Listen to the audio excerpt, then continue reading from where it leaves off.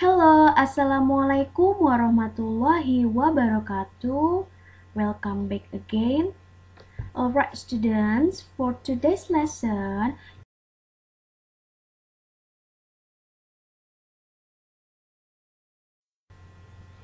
before we start our lesson, I want to share the basic competence that you have to achieve for today, for this semester.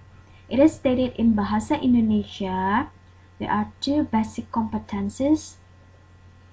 Jadi ada dua kompetensi dasar atau dua KD yaitu KD 3.5 yaitu KD pengetahuan dan KD 4.5 itu adalah KD keterampilan. Nah, KD pengetahuannya apa sih? Di sini kalian bisa baca sendiri ya. Uh, kalian akan mempelajari tentang materi yaitu teks naratif, lisan dan tulis terkait legenda rakyat. Jadi, materinya adalah teks naratif, lisan dan tulis terkait legenda rakyat. This is the basic competency that you have to achieve for this semester.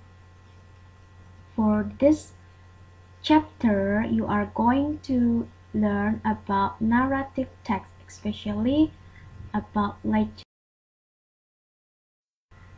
Okay, now I'm going to share the learning guide that you have to follow. There are some steps here. The first step that you have to follow in this chapter is you have to understand it is expected that after you learn this chapter, you will understand what is legend. After you have understood what is legend, you will find out the examples and the function of legend. And after that, you have you should analyze the generic structure, language feature, lexicogrammatical features of a legend. And the last, you are expected to create your own legend and perform it well.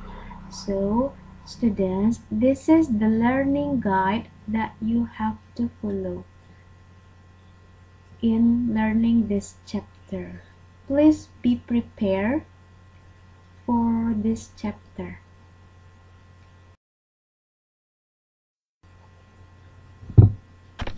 Okay, about the learning outcomes. There are three learning outcomes that is expected that I expect that you have after learning this chapter. It is reflected on your attitude, your knowledge, and your skills. I hope that after you learn this chapter, it is it it is reflected on your attitude that you can make any differences between the right and the wrong. I also have I also expect that you can strengthen your faith in God and you can instill the spirit of having dreams of happiness to help others. Besides reflected on your attitude, I expect that you have knowledge in understanding that sometimes legend is a written or spoken narrative that could realistically have happened. I also hope that you can understand how texts vary in purpose, structure, and topic. And the last, it is expected that you can identify and explain the characteristic of the text structure and language featured which is used in legend. This is knowledge, learning outcome for knowledge. Beside knowledge and attitude, you are expected to have the skills in writing a legend of a famous place based on the interview or based on the literature review from from ebook from internet or from any other sources that you that you choose. Yeah so I hope that you can write a legend of a famous place based on the interview, based on literature review.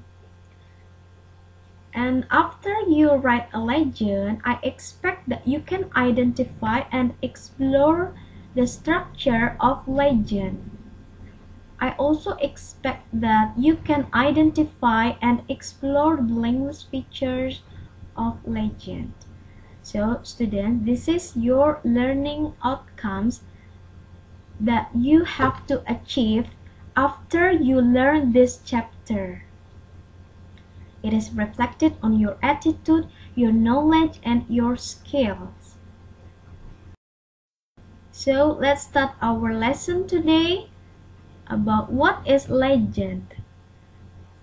A legend is a story or narrative that lies somewhere between myth and historical fact and which as a rule is about a particular figure, or person.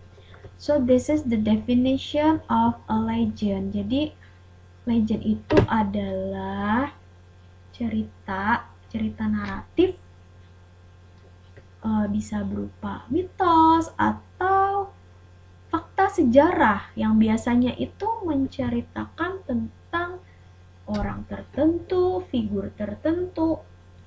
Itu adalah legend. Cerita naratif, cerita a story. What is a story? A story itu kalau kita if we talk about a story cerita kan kisah. Nah, kalau kisah itu berarti ada tokoh jahat. Ada ada pemerannya ya, ada ada ceritanya naratif. Naratif itu cerita. Ada alurnya. Alurnya itu seperti apa sih?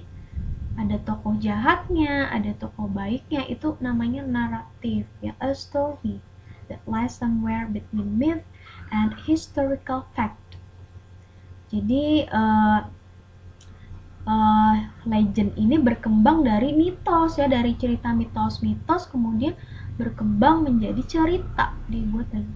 A legend is a narrative that focuses on a historically or geographically specific figure and describes his exploits. Jadi, cerita legenda itu biasanya fokusnya ke sejarah tertentu, geografi tertentu di wilayah tertentu itu ya, itu legend, cerita legenda. Nah, biasanya kan di tiap daerah itu kan ada punya ceritanya masing-masing ya, legenda masing-masing. Nah, itu namanya legend, legenda ya.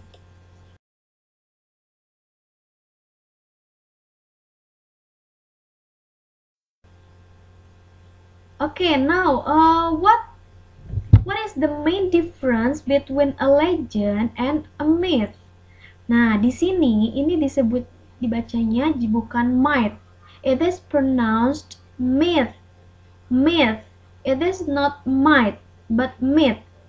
Listen and repeat after me. Myth. Myth. So it is pronounced myth, not might. Myth. The main difference between a legend and a myth. Apa sih bedanya antara legenda dan mitos ya? Legend are made up stories. Legends are narratives that are partly true and partly imaginary about a particular person, event, place, or natural feature. Jadi, legenda itu adalah dalam bentuk cerita. Nah, kalau cerita itu berarti apa? Ada alurnya. Ada alurnya. Alurnya seperti apa sih? Ada orientationnya, ada complicationnya, ada resolutionnya.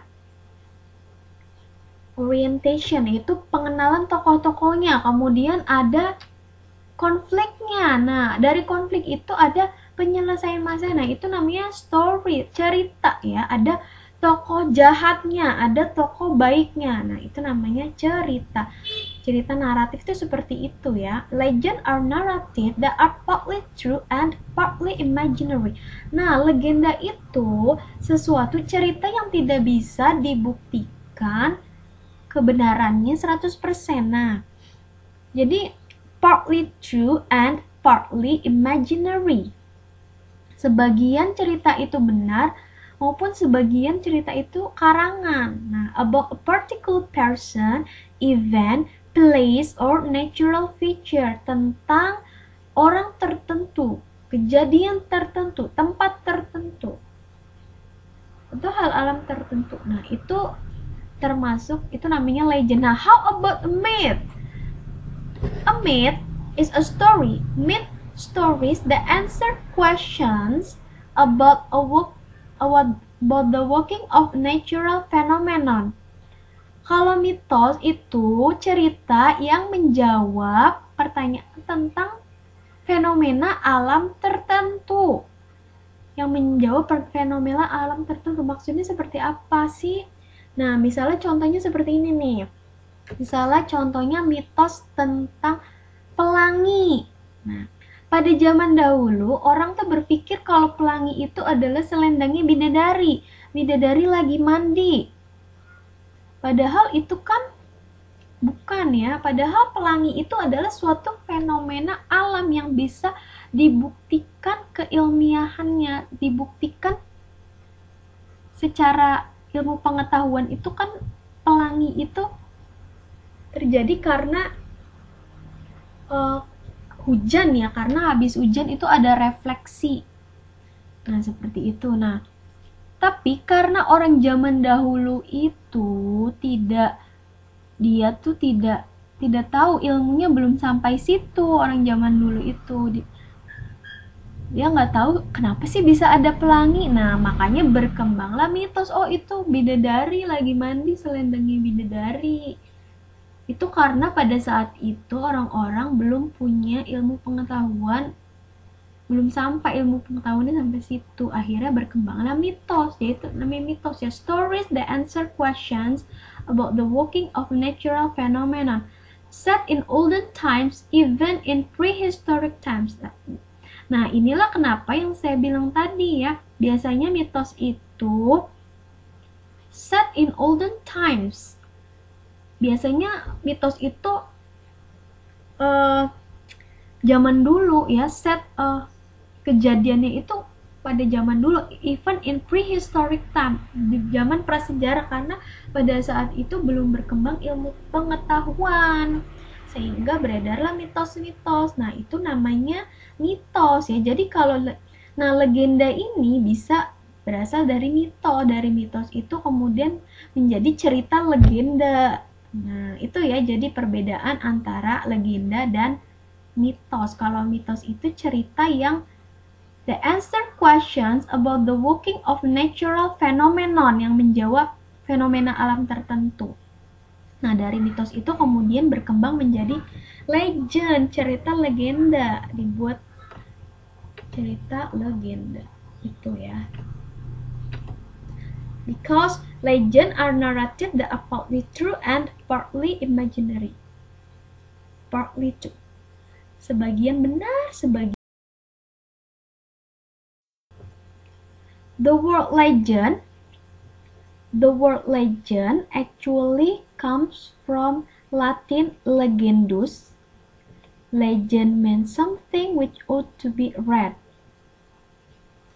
Jadi ini asal kata leg legend itu dari kata legenda, legendus dalam bahasa Latin yang artinya sesuatu yang harus dibaca, ought to be read. In literature, legend relate to people or clans. Jadi cerita legenda itu berhubungan dengan orang ya. A legend is a story from the past that that many people believe but cannot be proved to be true. Many people believe but cannot be proved to be true.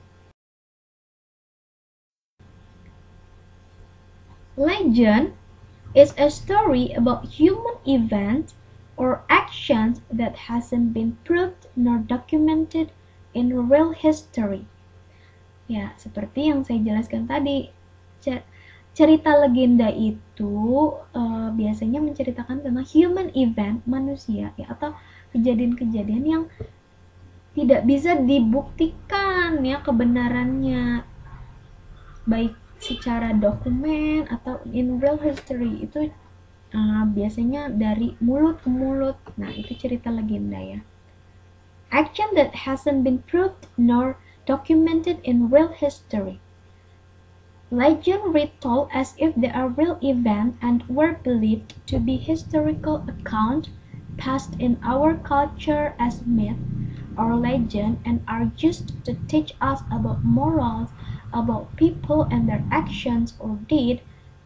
The people lived in more recent times and are mentioned in history. Jadi legenda itu retold diceritakan turun temurun ya sejak dari generasi ke generasi seolah-olah cerita itu adalah kejadian yang sebenarnya dan dipercaya sebagai historical account sebagai fakta uh, cerita sejarah atau past in our culture. Nah itu berkembang di kebudayaan kita sebagai mitos, legenda dan biasanya cerita-cerita cerita-cerita itu are used to teach us about morals pada intinya adalah untuk mengajari kita moral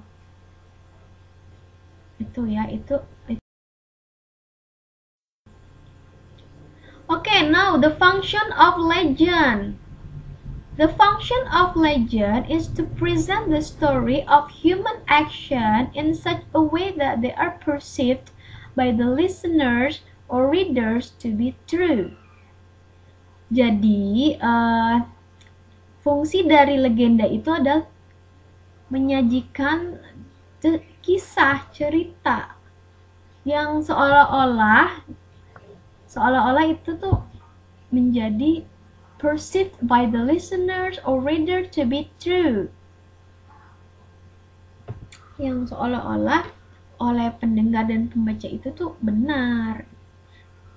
Jadi fungsinya itu untuk menyajikan cerita to present the story of human to entertain to entertain or to amuse the readers about the interesting story. Nah, kalau secara in general, if we learn in we learn about text, kind of text, the function of legend or the function of narrative is to entertain or to amuse the readers about the interesting story. Nah, kalau secara fungsi kebahasaan ya, in general fungsinya adalah naratif teks itu atau teks legenda itu to entertain or to amuse the readers about the interesting story untuk menghibur ya tujuannya adalah untuk menghibur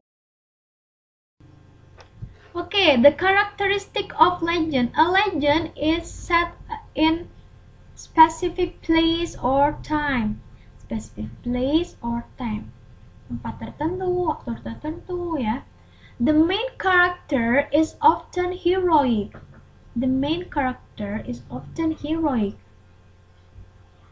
Pahlawan, jadi bersifat pahlawan.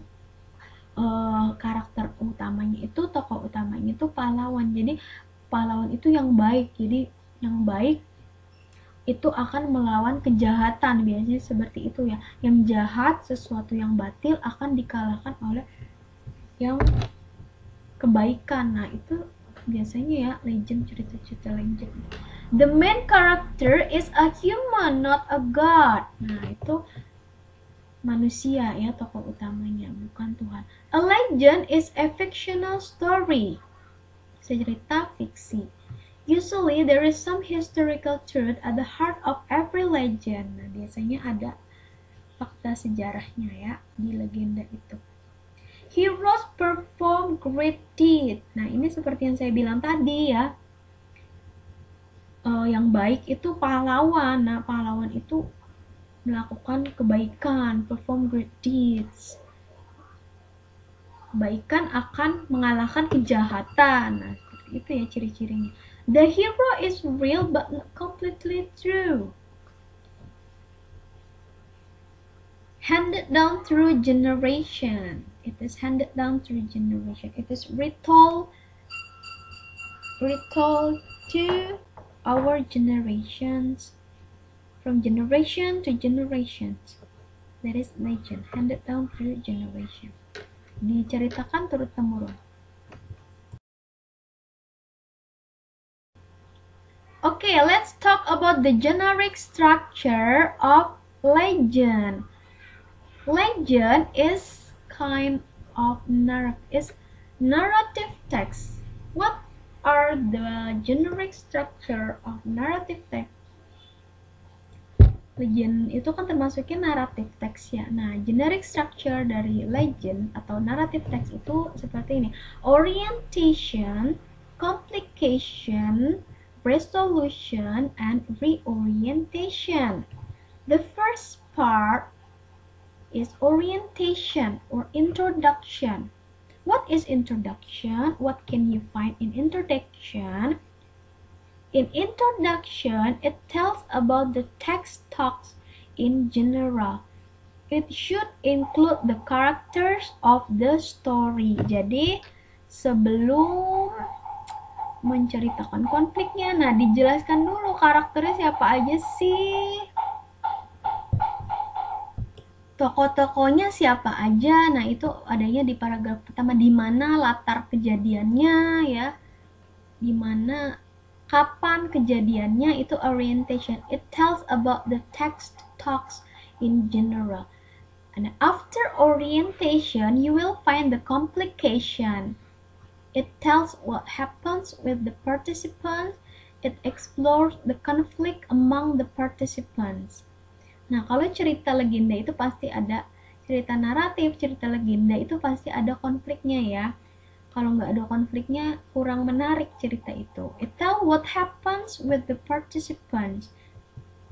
It explores the conflict among the participants. Jadi ada konfliknya. Nah, after complication, you will find the resolution.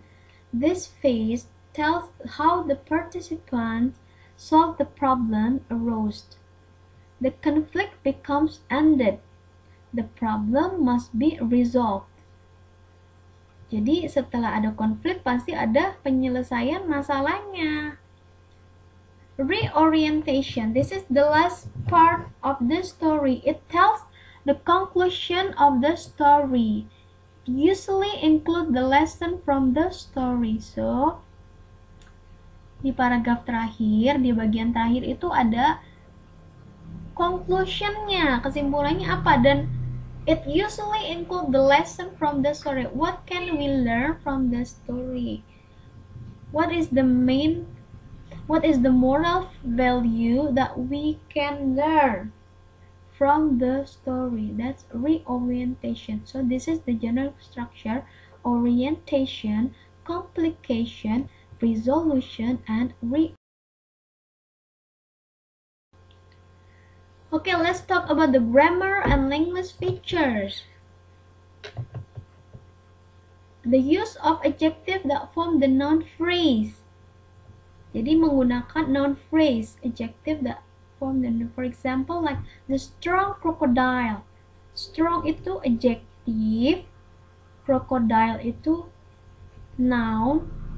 Jadi strong crocodile itu namanya ini noun phrase the strong crocodile, the use of adjective that form the non the phrase non phrase. The time the use of time connective and conjunction such as a long time ago, once upon a time, etc. The use of adverb and adverbial phrases to indicate the location of the incident or event for example, like in the river, in the river, in the hot. Seperti itu ya, adverbial phrases to indicate the location. The use of action verb in the past tense, for example, like they curved her. People that always talked. Action verb. The use of saying verbs that mark remark. For example, like he said angrily, he told, he said, he says. Is saying verb, yeah. The use of thinking verbs that mark the thought, the thoughts, percep perceptions, or feelings of the characters in the story. For example, like the man that looked so curious. Ya, jadi intinya adalah verb ini action verb, saying verb, thinking verb itu di dalam bentuk past tense ya. Nah, kalau past tense berarti pakai verbnya verb kedua. Nah, kenapa pakai past tense? Because some it usually because the legend story happened in the past, so we use simple past to indicate that it referred to the past. Menggunakan simple past verb to. Verbnya itu verb to. The use of dialogue to elicit an emotional response from the reader. Nah, ini ya yang membuat cerita itu menarik. Yaitu dialognya itu kata-katanya itu um, membuat emosi pembaca itu ini ya meningkat to elicit an emotional response from the reader.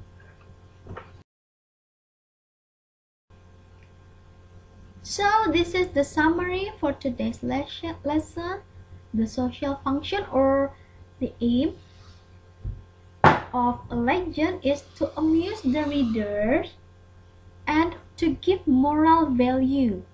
Jadi ini adalah social function atau tujuannya ya.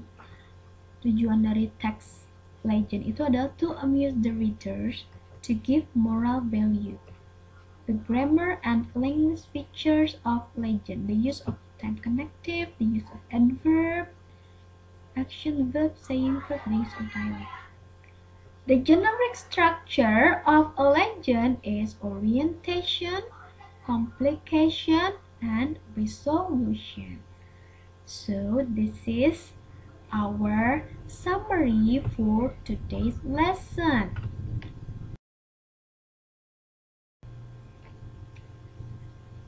Alright student, now that you have learned about a legend, I want you to do this exercise, reflective, reflective summary. Please answer this question. In this activity, what have you learned from this activity? Write down. The key features of legend. Mention the key features of legend. And please write what you like most about this activity. Please write what you like most about this activity. And the last, please write down what you need to improve or what you need to learn more for this activity. So this is the reflective summary for you. Please answer these questions and submit it on Google Classroom.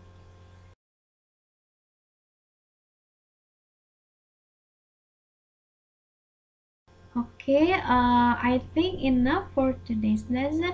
If you have any question, you can chat me through WhatsApp or Telegram. I will answer your question.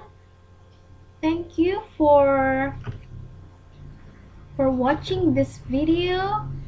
Please um, don't forget to do your task. Have an enjoyable and fruitful learning. Thank you. Wassalamualaikum warahmatullahi wabarakatuh.